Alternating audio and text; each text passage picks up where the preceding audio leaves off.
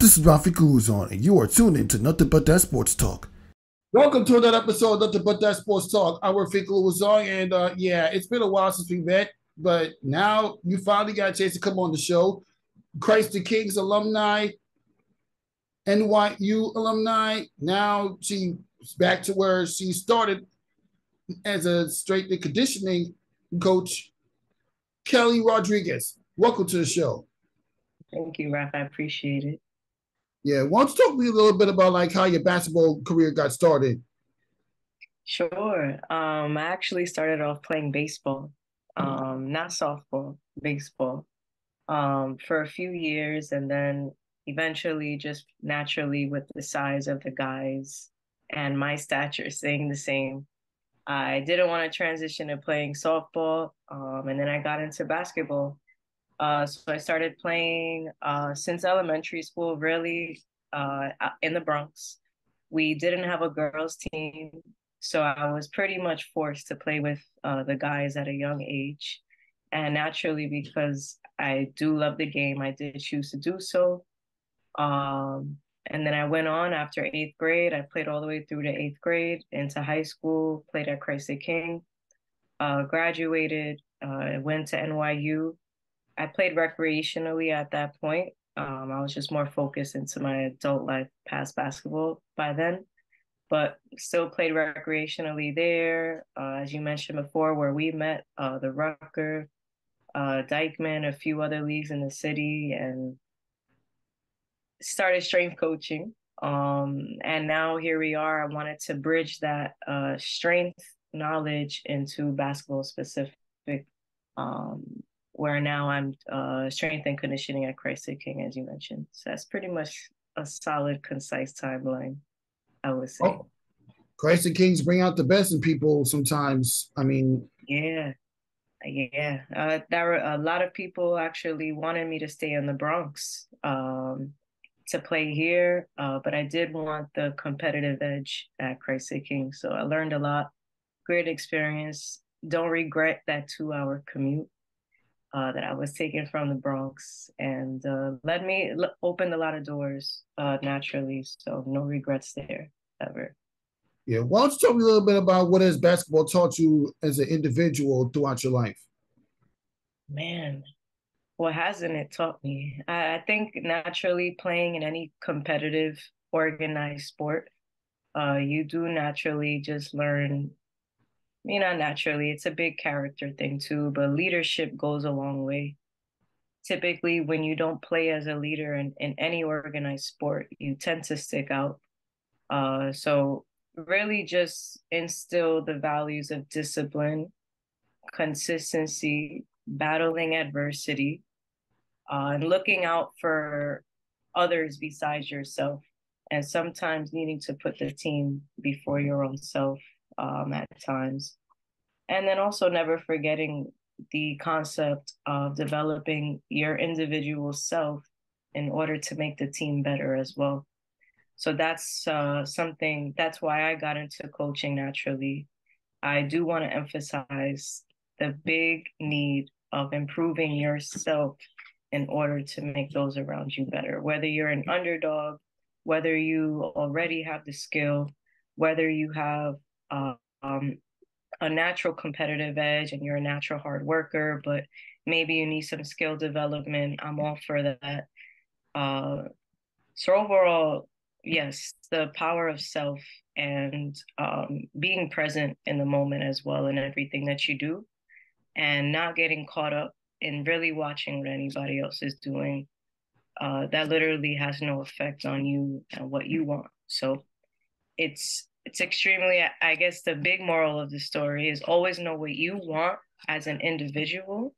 So that way you know what resources to seek for what you want individually. Yeah that's very important. I mean we all should look out for ourselves no matter what career that we pick no matter what career path we pick right. whether it's in sports or or fitness or this or strength conditioning and every and pretty much all the above.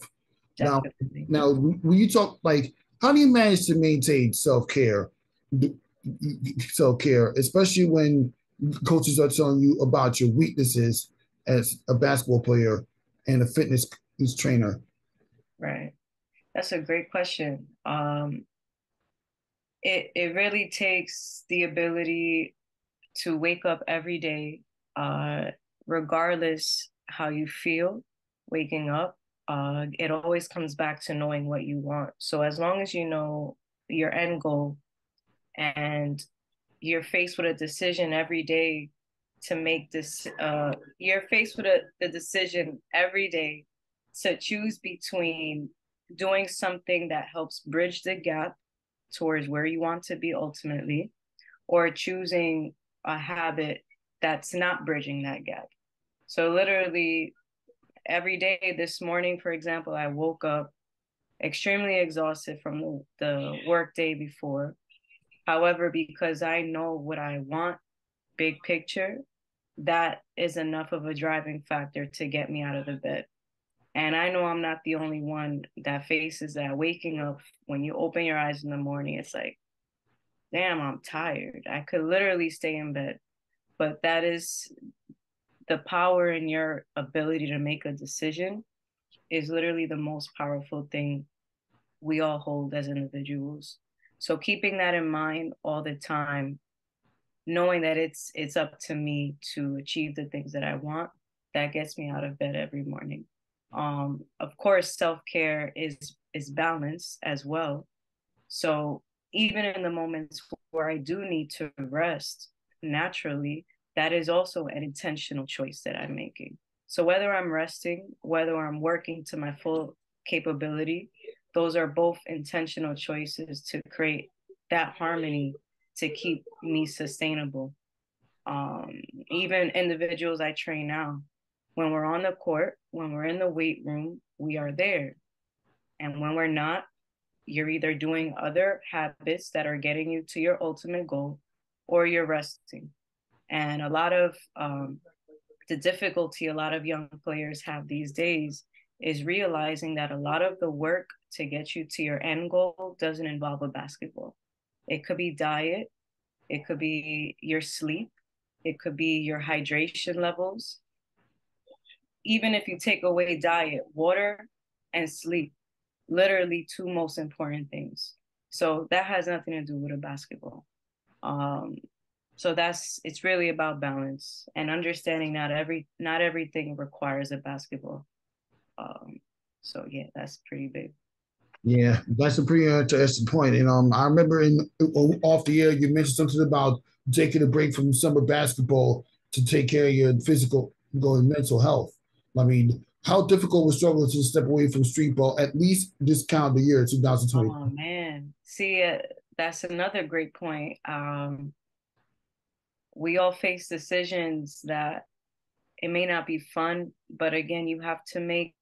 Uh, you don't have to. You just it's wise to choose the option that helps you become sustainable. So it was very tough. This is the first summer I'm not playing street ball. Um, do I have the itch? Of course.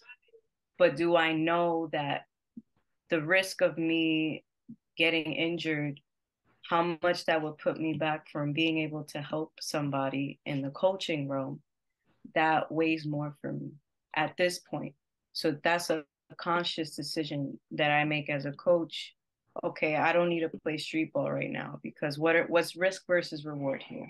Again, if I get hurt, I don't have the ability to coach people in the way that for me is most beneficial for them. Um, so it's just coming down to making sacrifices. Is always a sacrifice.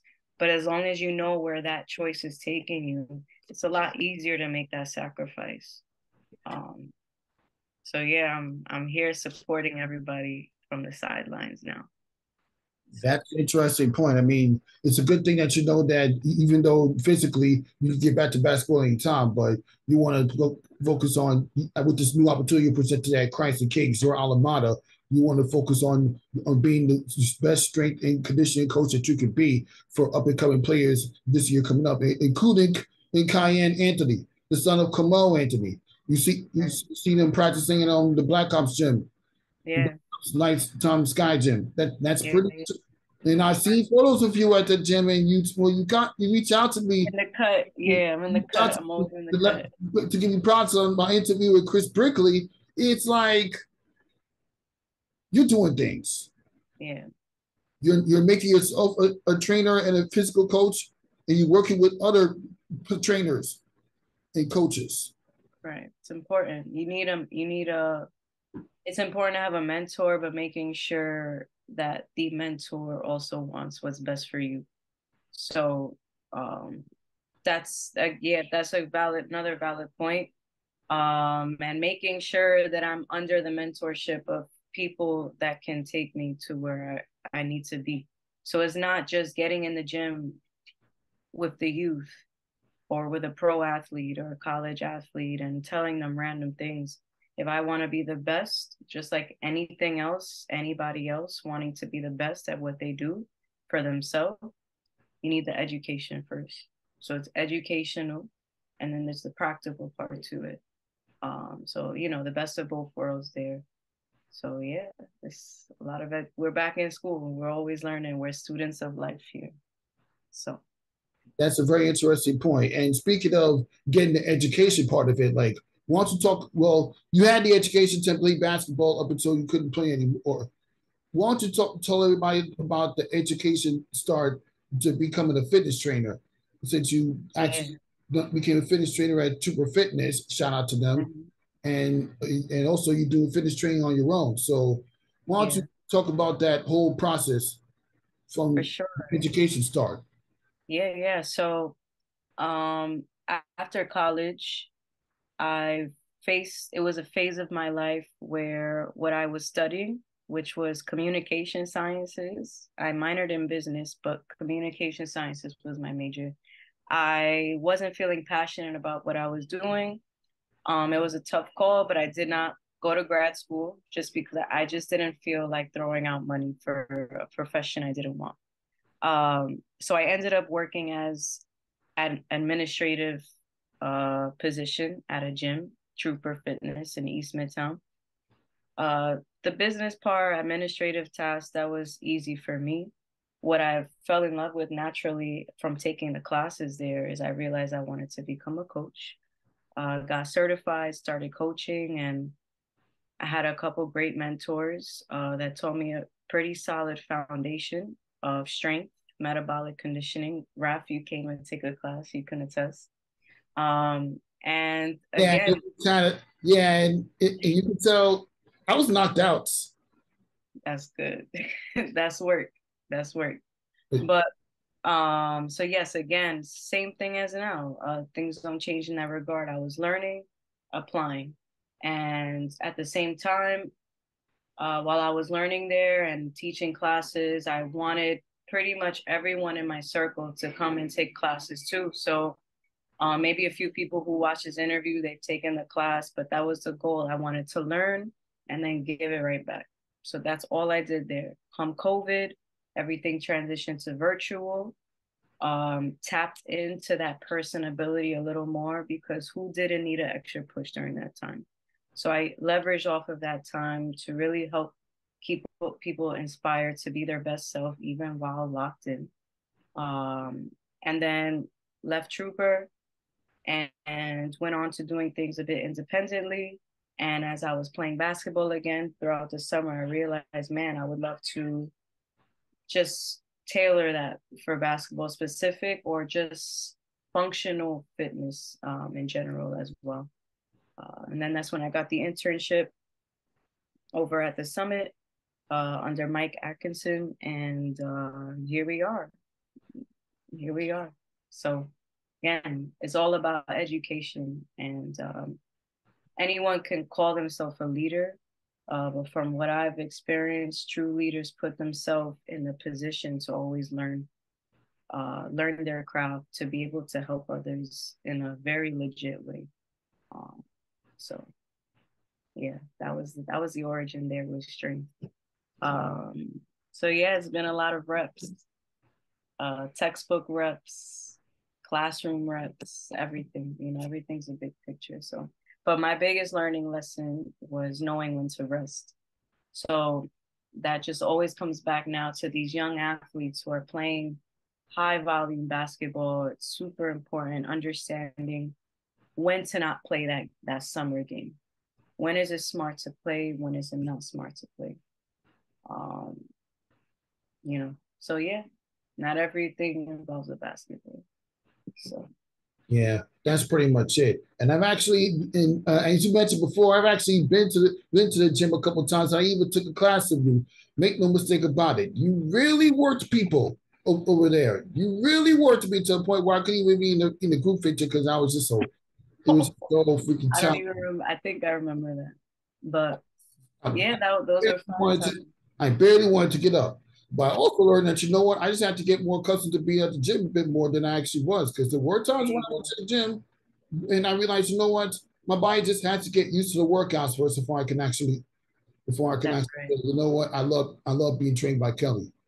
I appreciate but it. Was but part of the part of the reason why I never commit to as much as I, I used to be do. I mean, I liked being a fitness trainee, but I also like like holding on to hold, holding on to wealth and, and mental yeah and be focused right. on developing myself. Right. That's what it's about. So that's, that's what it's, it's all about. about. And yeah. before you say anything, like, why don't you like if, if you notice that the goalpost for yourself is moved so many times, and when that happens, how did you were able to handle it? What was moving? I'm sorry that it cut off a bit. I noticed that there were times where the, during the whole conversation up until this point, you notice the goalpost has moved so many times. How do you manage to handle yourself when the goalpost that you that you set for yourself is always moved a lot? Oh, so you mean basically uh, my direction has changed throughout the journey, essentially, is what you're saying. Yes. Yeah, yeah. It, it's always tough. I can't lie. There there were days I felt like giving up. I felt like this was a difficult journey that I chose. Um, but progress isn't linear, and I've accepted that. And you, when you when you really know what you want, um, you just need to be as flexible as possible to adapting. And I've taken that with as much grace as I can. I don't wake up expecting anything. I just wake up knowing what I want and accepting that I will do what it takes to get there. And things will change, and that's a part of it. So this is a very, it's not linear at all. And sometimes you'll go 10 steps forward, sometimes you'll go a million steps back. But that's the beauty of the journey. And accepting that the journey is genuinely where the gold is, is not at the end. It's now, and facing all this adversity is what makes success uh, feel good. If it was just handed to you, honestly, you wouldn't really want it. It wouldn't feel the same. That's like going pro because you woke up and you had a good high school game one time. You know, it's it's about knowing that you're really facing adversity and you know in your heart when you're doing your best. So that's what takes me is knowing that I'm genuinely doing the best I can. Yes, we all make mistakes, but when you own your mistakes, learn from them, that's literally um, it's all a part of it. So I'm sure you know, Ralph, you your journey is I'm sure it's like this, right?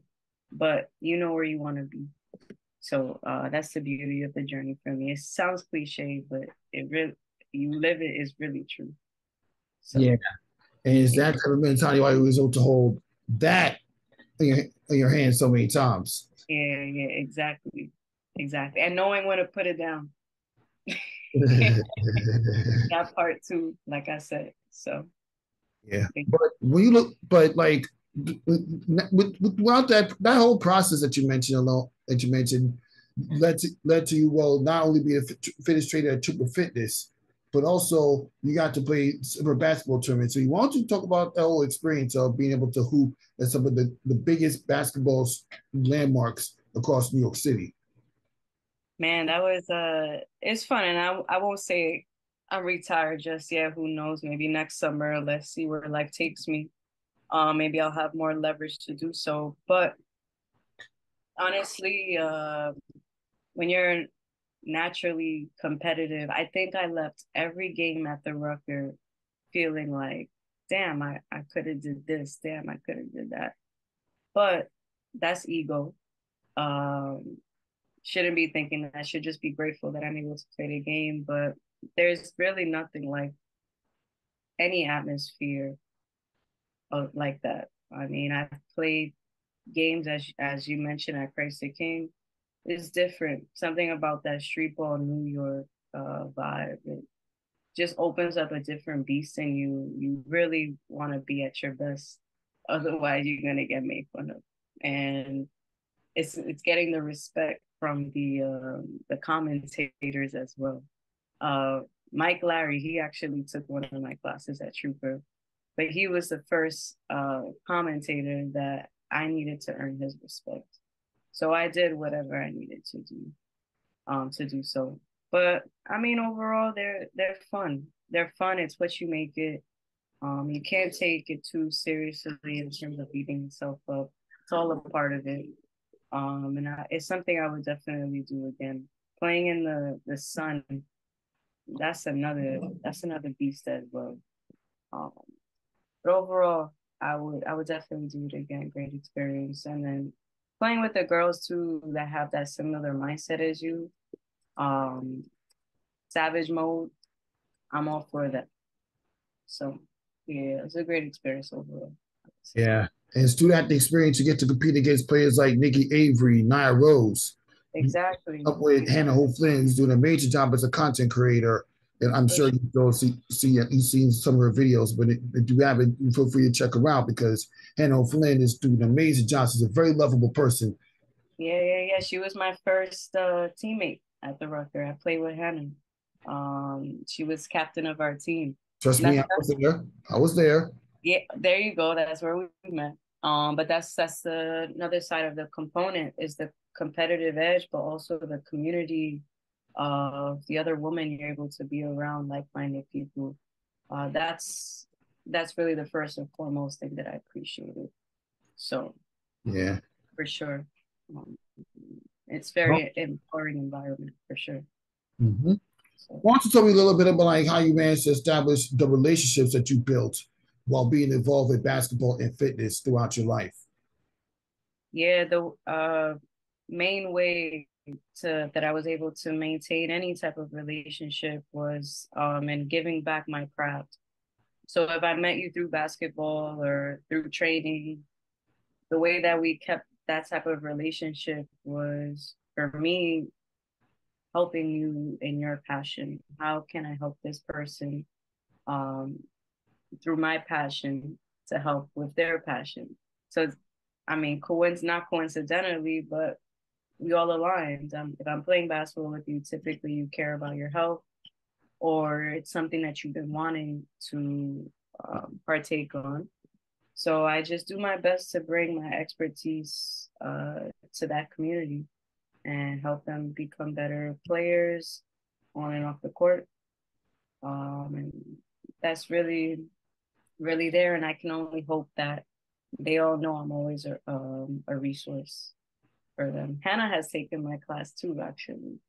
So Everybody is taking your class. Yeah, you know, it's that's something I I overlook a lot. It feels like it was a it was before COVID and during COVID, but that's something I always cherish is just being able to give back in that regard to these people who I know they just want to be great so, however, I can help you be great on your respective journey, that makes my journey more fruitful too. So, very grateful for that. Yeah, I'm so glad you came for that. And it's because it's that type of mindset when building relationships with the people that you either play basketball with or trained. Is, is what led to act, to being involved with Black Ops basketball and being a fitness, like from a fitness perspective and every other perspective, with a certain NBA skills trainer named Chris Brickley. Now, I don't know if you watched the whole interview, but if you haven't, I'm just gonna play a clip of it. I'll I'll have to. I definitely saw clips because I was on the run, um, back and forth. But I saw clips. I was it was really dope to see that, for sure. It's good representation. So yeah, you're out there. You're out there. I see you making it happen no matter what. So that's something I've always uh, appreciated about you too. Um, just out there doing your best every day. So that's all we could do. Yeah. But um, why don't I just play the interview with Chris Brickley since I understand how much you admire this man so much. You got to work with him. Yeah, yeah. I, currently, I'm more on the so Chris Brickley is doing strictly player development, um, and right now I'm working directly with Mike Atkinson, who um, is more on the strength and conditioning lens, which is why I'm working with him because that's the knowledge base that I really want to develop for basketball specific.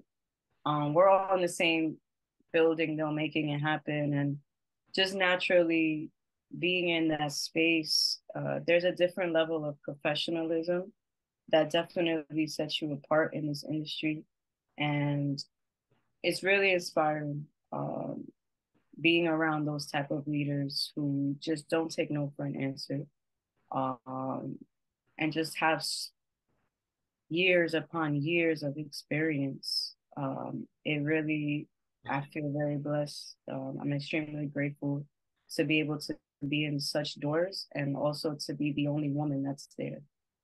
I can't explain. Every morning I, that's what gets me out of bed.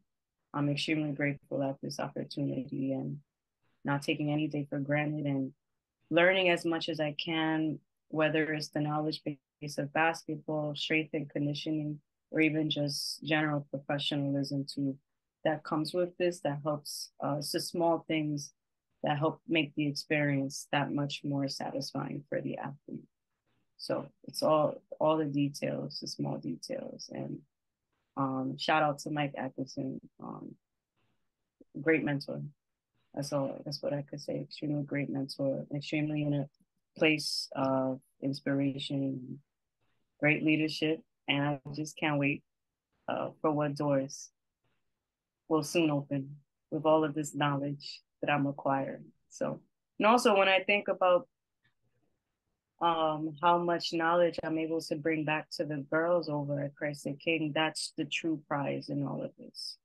Um, that was a true approach initially um, hey, Mike, uh, may I please basically be under your guidance so I can help out this next generation of, women um, have a type of training that they never had.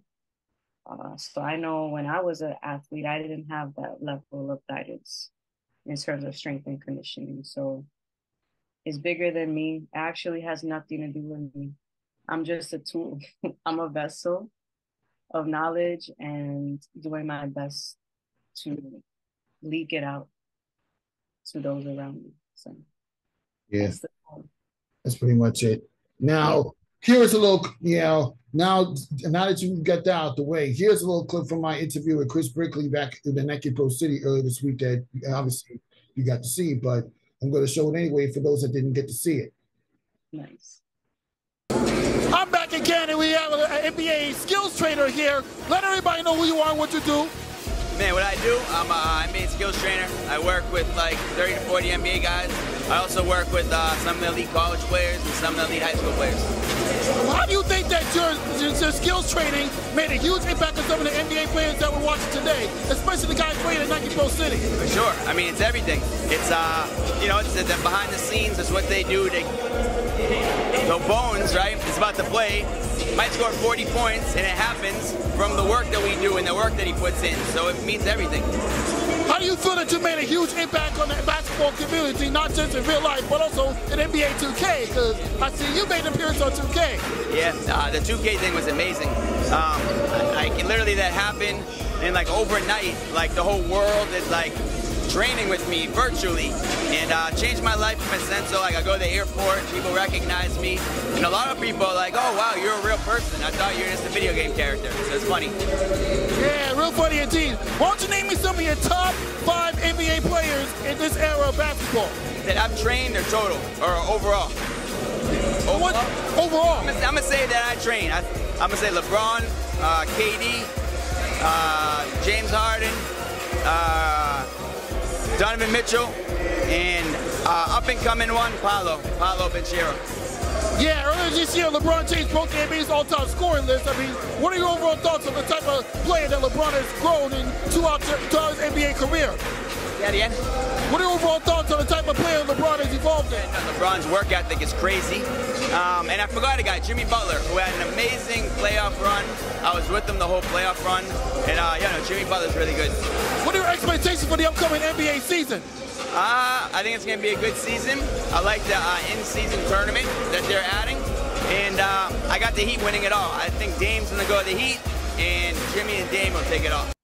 Yeah, that was my interview with Chris Brickley. For those of you that don't know, I mean, what I mean, what what have you learned from hearing Chris Brickley talk about his ability to train basketball players, players, and actually evaluating the type of careers that they've had?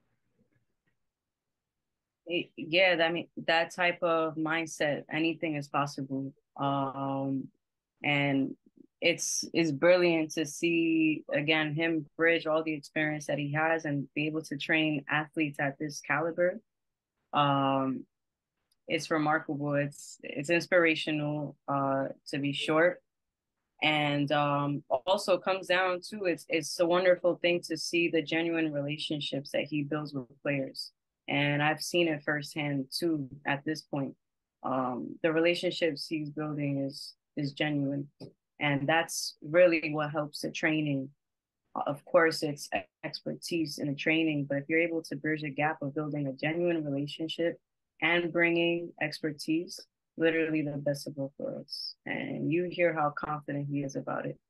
Um, so extremely inspirational um, respected for sure.